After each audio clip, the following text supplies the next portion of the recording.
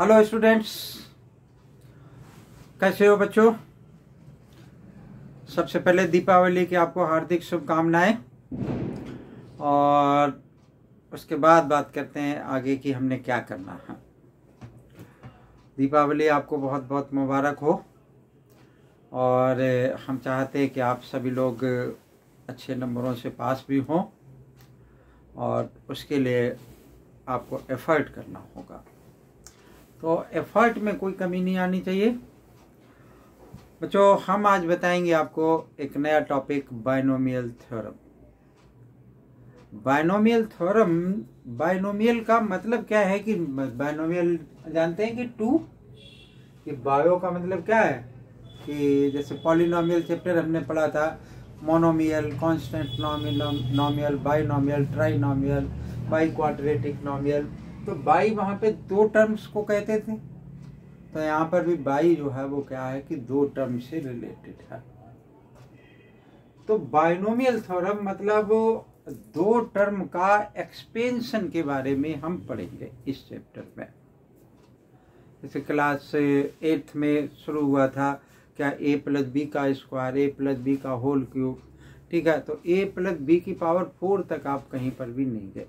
आपने वहाँ पर क्या पढ़ा था कि जैसे मैं बोल रहा हूँ कि ए प्लस बी की पावर चलो ज़ीरो भी बोल सकता हूँ मैं, ये पढ़े, या फिर इस इस टाइप का था क्लास नाइन्थ में कि 99 की पावर मान लो क्यूब तक गया, या 99 की पावर स्क्वायर तक है, या 10.2 की पावर जो है हमारी क्या दे रखी है? थ्री दे रखी है। तो इस तरीके का एक्सपेंशन जो था वो हमारे पास था, हम पढ़ चुके हैं। ए प्लस बी का होल क्यूब ए इसमें ए माइनस बी का होल क्यूब हन इसको क्या लिख सकते हैं कि हंड्रेड माइनस वन इसका क्यूब इसको क्या लिख सकते हैं कि ये 99 है, यहाँ स्क्वायर है तो 100 माइनस वन का स्क्वायर लिख सकते हैं। 98 भी हो सकता था 10.2 10 प्लस पॉइंट टू का whole cube A plus B का होल क्यूब लगा दिया ए प्लस बी का होल स्क्वायर जैसा मतलब लग रहा है लेकिन आपने कभी ऐसा नहीं देखा कि अगर लिखा होता कि 99 की पावर मान लो कि क्या लिखा हुआ है कि 8 लिखा हुआ है कि इसकी वैल्यू आप फाइंड आउट करें। अगर इसकी वैल्यू कहीं फाइंड आउट कराई भी है तो वहाँ पहले तो फाइंड आउट कराई नहीं क्लास टेंथ तक। अगर बाई दबा किसी कम्पिटेटिव एग्ज़ाम में आपने देखा भी है तो वहाँ पर क्या कि पर्टिकुलर टाइप का कोई रूल वहाँ पर लग रहा था। तो बच्चों हम क्या करेंगे कि अब इस टाइप का एक्सपेंशन यानी मोर देन थ्री वाला हम यहाँ पर करने की कोशिश करेंगे। कंडीशन ये है कि हमारे पास दो टर्म्स होंगी। अगर दो टर्म्स नहीं होगी तो हमने क्या करना है कि दो टर्म्स में जाना है। यानी पहले उन तीन टर्म को दो में बनाएँगे फिर उनका एक्सपेंशन करेंगे। तो इन सबसे इन प्रा, इस प्रॉब्लम को से बाहर निकलने के लिए हम जो तरीका निकालेंगे उसको हम क्या कहेंगे? कि बाइनोमियल थ्योरम कहेंगे। ठीक है? तो बच्चों, बात करते हैं कि भाई ये जो है बाइनोमियल थ्योरम हमारा क्या है? तो देखते हैं बारी बारी से कि कैसे ये बढ़ेगा आगे की तरफ़। आसान सा कंसेप्ट है, बस क्वेश्चन क्या होगा कि थोड़ा सा लेंथी टाइप का होगा। हमें पता है कि जैसे बाइनोमियल हमने बोला दो तो A plus B A plus B इसकी पावर ज़ीरो हमें मालूम है कि किसी भी नंबर की पावर अगर ज़ीरो है तो आंसर क्या होगा? बन के इक्वल होगा। अगर मैंने यहाँ पे लिख लिया कि a प्लस बी इसकी पावर वन तो आपको पता है कि a प्लस बी आएगा। है ना? ये किसी भी नंबर की पावर वन तो वही आ जाएगा।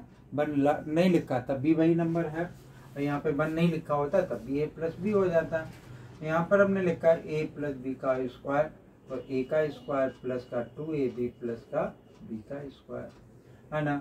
ए प्लस बी का होल क्यूब मान लो तो ए का cube plus three A square B plus three A B का स्क्वायर प्लस बी का क्यूब ठीक है? तो ऐसे ही ये चल रहा है अब मान लो कि मैंने लिख लिया कि यहाँ पर भाई ए प्लस बी की पावर मान लो कि मैंने सिक्स लिख लिया।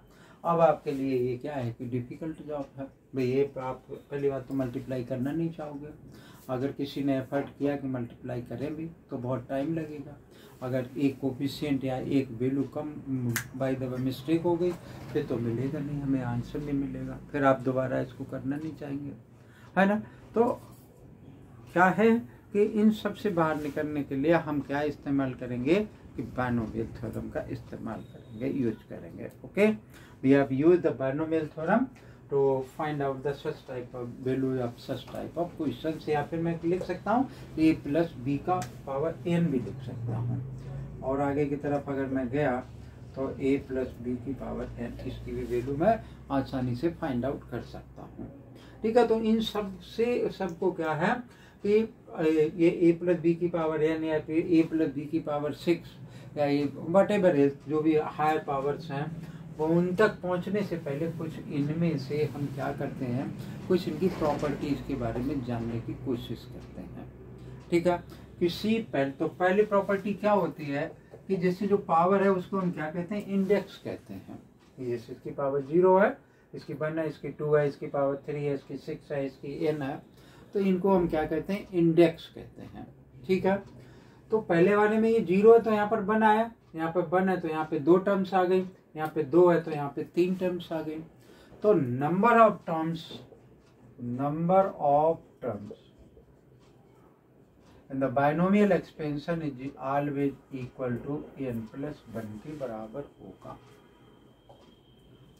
नंबर ऑफ़ टर्म्स मान लो चलो ऐसा लिख लिया, a प्लस बी की पावर एन तो कितनी होगी? एक टर्म ज़्यादा होगी, आप यहाँ से देख लो कि यहाँ पर क्या है? कि डिग्री वन है पावर वन है तो दो टर्म्स यहाँ पे दो है तो तीन टर्म्स तीन है तो चार टर्म्स है। तो नंबर ऑफ़ टर्म्स हमेशा क्या होगा कि एक ज़्यादा होगी। ठीक है? फिर मान लो कि आप दूसरे वाले केस में देखो। यहाँ लिखा ए प्लस बी का स्क्वायर इसकी डिग्री कितनी लिखी है? दो। इसकी डिग्री कितनी है? वन इसकी डिग्री कितनी है? दो। है ना? तो आप देखें कि पहले वाले की डिग्री कम होगी और दूसरे वाले की डिग्री हमेशा बढ़ती रहेगी। ध्यान से देखें, यहाँ पर ए की डिग्री टू है, फिर कम हो गई, फिर यहाँ पर ए की पावर ज़ीरो आ गई। तो हर एक नई टर्म में पहले वाले की डिग्री क्या होगी? कम होती चली जाएगी, लेकिन जो डिग्री है दोनों को मिला करके वो हमेशा इंडेक्स के इक्वल होगी। तो हम क्या लिख सकते हैं इसको? Degree of all the terms will be equal to the index then degree of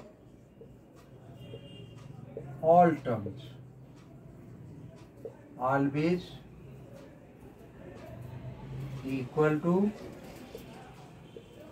degree of या equal to the index index के इक्वल उसकी डिग्री होगी। और and it will be into the decreasing order है ना? तो degree of all the terms will be क्या होगा कि उसके बन के इक्वल होगा। और तीसरी बात क्या है कि कोई सी भी टर्म लेना जैसे यहाँ पर लिखा हुआ ए ए का क्यूब ठीक है? थ्री ए स्क्वायर बी तो इसकी डिग्री दो, इसकी डिग्री वन तो किसके बराबर हो गई? तीन के। इसकी डिग्री कितनी है? वन इसकी डिग्री कितनी है? तीन हो गई, दो है तो तीन के बराबर हो गई। तो हर एक टर्म की डिग्री क्या होगी? हर एक टर्म की डिग्री यानी पावर जब ऐड कर देंगे तो वो किसके इक्वल आ जाएगा? इंडेक्स के इक्वल आ जाएगी। ठीक है? तो ये कुछ बेसिक बातें हैं जो कि हमें ध्यान में रखनी है। अब मैं बताता हूँ कि ये जो जैसे अब इसका कोपिशियंट वन है, इसका भी कोपिशियंट वन है, इसका कोपिशियंट वन है, इसका टू है, इसका वन है है ना? तो ए प्लस बी की पावर सिक्स है, इसका कोपिशियंट क्या होगा? आपको फाइंड आउट करना मुश्किल होगा। कब फाइंड आउट करोगे? जब मल्टीप्लाई करते रहोगे इतनी देर तक, तब उसका कोपिशियंट फाइंड आउट होगा। तो बच्चों, ऐसा नहीं है उस प्रॉब्लम से बाहर आने के लिए हम क्या करते हैं कि कुछ एफर्ट करते हैं। तो कैसे किया जा सकता है? देखते हैं भाई इसको।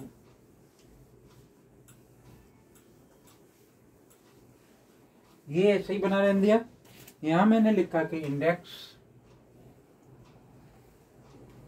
और यहाँ मैंने लिखा कि कोफिशियंट लिखा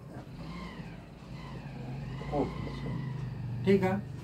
पहले वाले में देखो आपकी इंडेक्स इसका ज़ीरो है तो यहाँ पर इसका जो कोफिशियंट आया, वो कोफिशियंट हमारा किसके इक्वल है? ये तो बन है ही तो बन के इक्वल है ही। ठीक है? दूसरी बात, इसका इंडेक्स वन है तो आप देखें कि इसका इंडेक्स वन है तो यहाँ पर क्या आ गया? वन और वन हमने मान लिया। अगर इंडेक्स इसका टू के इक्वल है तो क्या आ गया? मेरा वन आ गया, फिर टू आया, और फिर क्या आ गया? फिर वन आ गया, है ना? अगर इंडेक्स थ्री है, यहाँ पे इंडेक्स थ्री है तो थ्री है तो इंडेक्स क्या हो गया? यहाँ पर आप देखो वन आया, फिर थ्री आया थ्री यहाँ लिख लेता हूँ। थ्री आया, फिर थ्री आया, और फिर वन आया। अब आप देखें कि यहाँ पर मान लो कि हमने तो और आगे लिखा ही नहीं इंडेक्स फोर लिख लिया। अगर इंडेक्स फोर लिख लिया तो क्या होगा कि हम देखते हैं कि ये किसी पैटर्न में आगे की तरफ़ जा रहा है।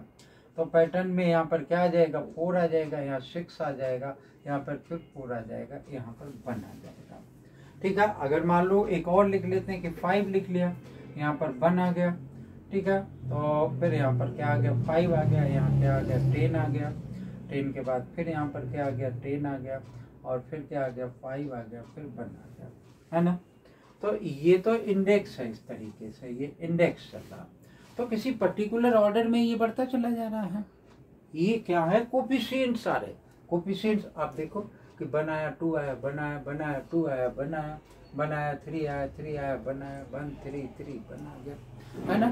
तो एक पैटर्न में ये बढ़ रहे हैं। यहाँ पर वन है फोर है सिक्स है फोर लेकिन अगर मैंने कह दिया कि आठवें वाले को बताओ तो आप आठवें वालों को निकालने के लिए आप क्या करेंगे? इन सबको आठ तक लेकर के जाएँगे तो वो हमारे लिए मुश्किल हो जाएगा। भाई मान लो ए की, ए प्लस बी की पावर एट तक मुझे जाने के लिए वन से मैं ज़ीरो से शुरुआत करूँगा, है ना?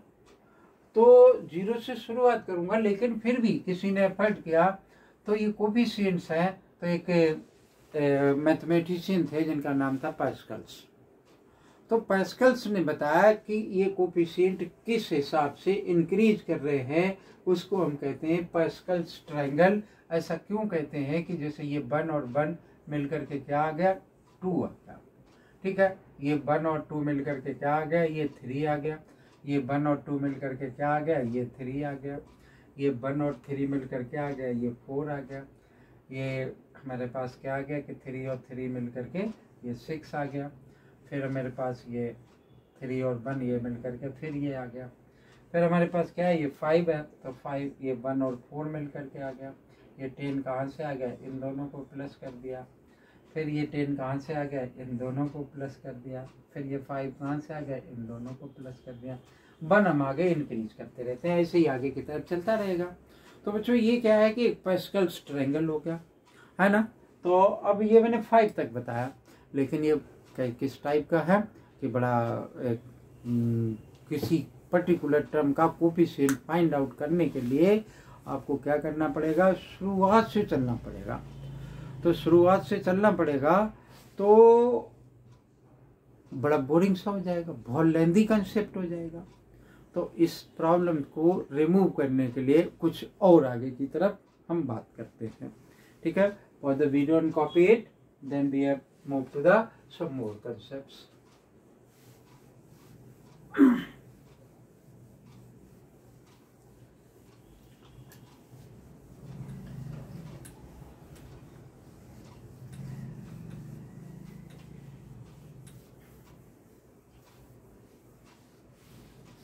देखो तो इससे आगे और जो हमारे नेक्स्ट कंसेप्ट के लिए हम क्या करें कि हमने क्या पढ़ रखा है? कॉम्बिनेशन पढ़ रखा कॉम्बिनेशन अब कॉम्बिनेशन क्या था कि N C R N C R this is equal to how much N factorial divided by R factorial N minus R factorial ठीक है? क्या लिखा हुआ है कि N C R is equal to N factorial divided by R factorial और N minus R factorial अब मैं बात करूँगा किसकी, अब हमें, हम ये जानते हैं कि एन सी एन किसके इक्वल होता है? इस साइड में देखिए कि एन सी एन किसके इक्वल होता है? एन सी ज़ीरो किसके इक्वल होता है? एन सी वन किसके इक्वल होता है? इन सब चीज़ों से हम क्या है? इससे पहले वाले चैप्टर में फैमिली रहे हम इससे, है ना? तो बात करते हैं हम, हमने यहाँ पे लिखा फिर कि इंडेक्स क्या है? और इसका कोपिशियंट कैसे निकाला जा सकता है? ठीक है? ये ज़ीरो आ गया। हमने क्या लिखा? कि मान लो कि इंडेक्स हमारा ज़ीरो है। तो सबसे पहले पहले जो कोफिशियंट होगा वो ज़ीरो सी ज़ीरो होगा। फिर मैंने लिखा कि मान लो कि यहाँ पर वन लिखा तो मेरे पास क्या आ जाएगा? वन सी ज़ीरो और वन सी वन आ गया। ठीक है? फिर मैंने क्यों? इसकी भी वैल्यू वन इसकी भी वैल्यू वन फिर मैंने लिखा टू तो मैं क्या लिखूँगा? टू यहाँ लिखते हैं। Two C one two C two sorry two C zero two C one और टू सी टू फिर मान लो कि इंडेक्स थ्री आ गया तो मैंने क्या लिखा है कि three C zero three C one three C two और थ्री सी थ्री ठीक है? तो अब आप देखो कि किसी भी टर्म का कोफिशियंट फाइंड आउट करने के लिए मान लो कि मुझे कौन से ऐसे ही चलते रहे और मुझे सिक्स टर्म का कोफिशियंट फाइंड आउट करना या सेवेंथ टर्म का कोफिशियंट फाइंड आउट करना है। तो आप क्या लिख लोगे कि six C zero six C one six C two, six C three, six C four, है ना? सिक्स सी फाइव और सिक्स सी सिक्स। ठीक? तो सिक्स है ये। नंबर ऑफ़ टर्म्स कितनी होगी? सात होंगी। और किस तरीके से इनका वो निकलेगा? कोफिशियंट इस तरीके से निकल आएगा। तो ये कॉम्बिनेशन जो प्रोसेस है वो कॉम्बिनेशन प्रोसेस को हम यूज़ कर सकते हैं और हर एक का कोफिशियंट्स फाइंड आउट कर सकते हैं। तो इसको हम कहाँ इस्तेमाल करेंगे? बायनोमियल थ्योरम में। अभी भी बच्चों बायनोमियल थ्योरम पे नहीं पहुँचा ये क्या बताया मैंने सिर्फ़? कोफिशियंट्स बताए हैं। किसका कोफिशियंट ये होगा? मान लो कि जैसे ये लिखा कि ए प्लस बी का पावर सिक्स तो ए प्लस बी की पावर सिक्स का कोफिशियंट ये होगा। ये इसका कोफिशियंट होगा। लेकिन और टर्म्स मान लो कि यहाँ पर ए है तो यहाँ पर क्या आ जाएगा? यहाँ फिर बी के साथ क्या आएगा? ए के साथ क्या आएगा? बी के साथ क्या आएगा? वो मैं आगे की तरफ़ आपको बता रहा हूँ। तो जब बता दूँगा उसको, वही क्या होगा मेरी बायनोमियल थ्योरम होगी। ओके तो लेटेस्ट सी तो बात करते हैं। अब ये जो लिखा हुआ है कि बायनोमियल थ्योरम तो बायनोमियल थ्योरम का फार्मूला मैं आपको बताऊँगा। उसके बाद आपको प्रूफ बताऊँगा कि बायनोमियल थ्योरम का क्या प्रूफ है और कैसे वो टर्म्स निकल करके आए हैं। ठीक है ना? तो पहले मैं लिखता हूँ फार्मूला आपको कि what is the binomial theorem यहाँ लिखा मैंने ए प्लस बी ठीक? Raise to the power N यहाँ लिखा क्या? कि ए एन सी और सबसे पहले वाला जो टर्म हुआ, वो आ गया मेरा ज़ीरो और ए की पावर एन माइनस ज़ीरो ठीक है? और बी की पावर क्या आ गया? कि ज़ीरो ठीक?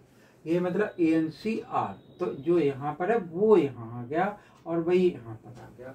दूसरी टर्म क्या हो गई? ए एन सी वन ए की power N minus one B की power N A N C two A की power N minus two B की power two plus A N C three A की power N minus three B की power three तो बच्चों, इसी तरीके से ये चलता रहेगा। ठीक है? और क्या आ गया? प्लस एन सी एन और ए की पावर एन माइनस एन और बी की पावर एन। ठीक है ना? तो ये बायनोमियल थ्योरम का मेन स्टेटमेंट है। बाकी यहाँ पर प्लस करेंगे, माइनस करेंगे बंद करेंगे, है ना? किसी की वैल्यू बढ़ाएँगे, घटाएँगे तो क्यूब भी लिख लेंगे। तो क्यूब मतलब यहाँ क्यूब नहीं, इसमें तीन टर्म्स लिख लेंगे। तो ये जो फार्मूला हमने लिखा है वो क्या है हमारा? कि बायनोमियल थ्योरम होता है। ओके? इससे हम इस टाइप जो बायनोमियल थ्योरम के क्वेश्चन है, वो मेनली हम इससे फाइंड आउट करेंगे, इससे करेंगे। ओके? इसका क्या प्रूफ होगा? ये आप आगे की वीडियो में देखेंगे। वीडियो अगर अच्छी लगे लाइक करें। चैनल सब्सक्राइब नहीं कर रखा तो चैनल को सब्सक्राइब कर ले। थैंक यू जय हिंद